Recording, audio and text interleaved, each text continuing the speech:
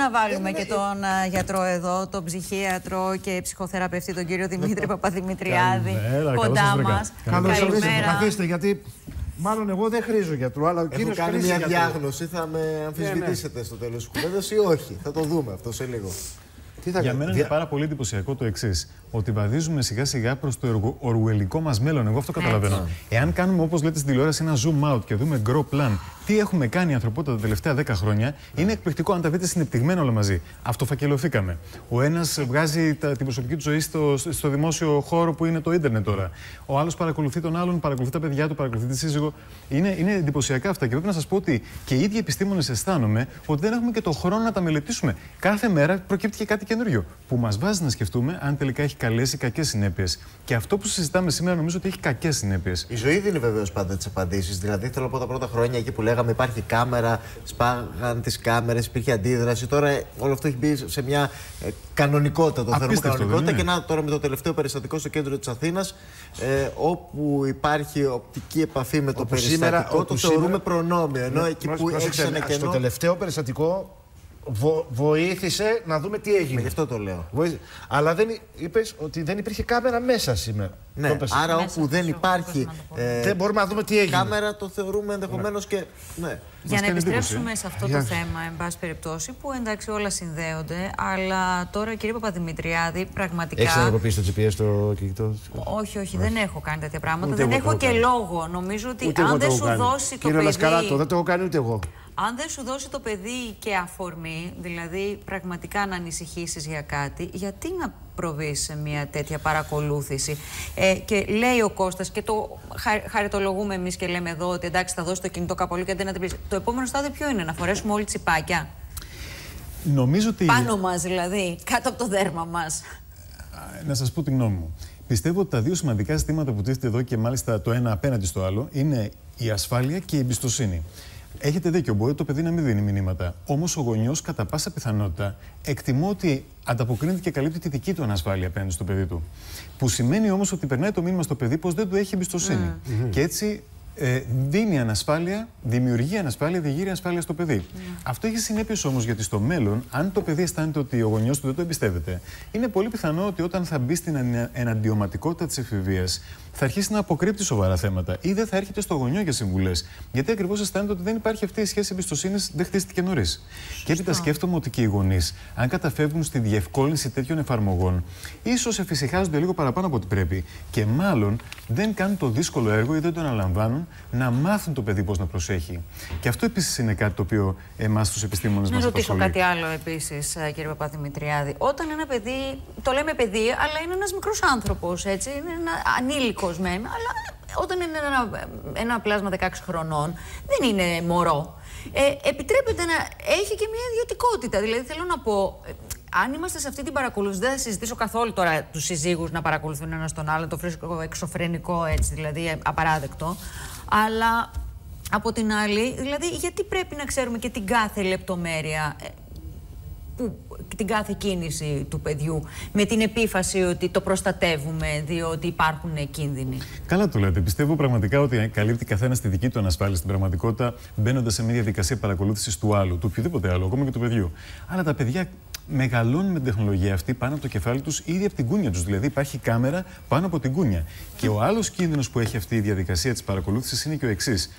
Πρέπει να διαρωτηθούν οι γονείς αν θέλουν να μεγαλώσουν παιδιά ή αν θέλουν να μεγαλώσουν πράκτορες στη στάζη. Διότι αν τα παιδιά συνηθίζουν σε αυτή την κανονικοποίηση, αφομοιώνουν την παρακολούθηση ως κάτι το λογικό, θα το κάνουν αργότερα και εκείνα στην προσωπική τους ζωή. Ή θα θεωρήσουν ότι το να δίνουμε την προσωπική αυτή πληροφορία εύκολα στον άλλο, στον οποιοδήποτε άλλον την απαιτήσει, είναι κάτι το πολύ φυσιολογικό. Αυτό δεν είναι καλό πράγμα, γιατί στην πορεία, μέσω παρεξηγήσεων, επειδή ακριβώς η πληροφορία αυτή είναι ευαίσθητη και δεν είναι κα- καθόλου τυχαίο το ότι τη λέμε ευαίσθητη πληροφορία, μπορεί να χρησιμοποιηθεί.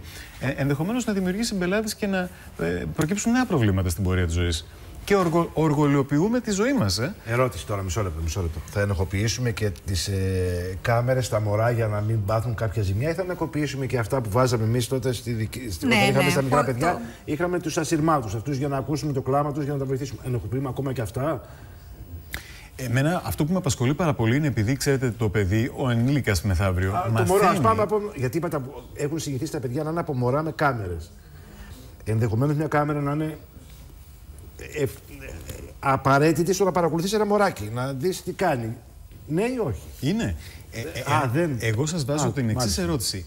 Ε, καταλαβαίνετε ότι τα παιδιά μαθαίνουν τη ζωή μιμούμενοι τους μεγάλους στην αρχή και βεβαίως παρατηρώντας με έντονο τρόπο καταγράφουν αναμνήσεις και μαθαίνουν τη ζωή από τη μικρή αυτή ηλικία. Εγγράφονται πληροφορίες εκεί οι οποίες θα είναι στην ελληνική ζωή μο, μόνιμες ε, πηγές ε, στάση ζωής και αποφάσεων για τα Μάλιστα. πράγματα.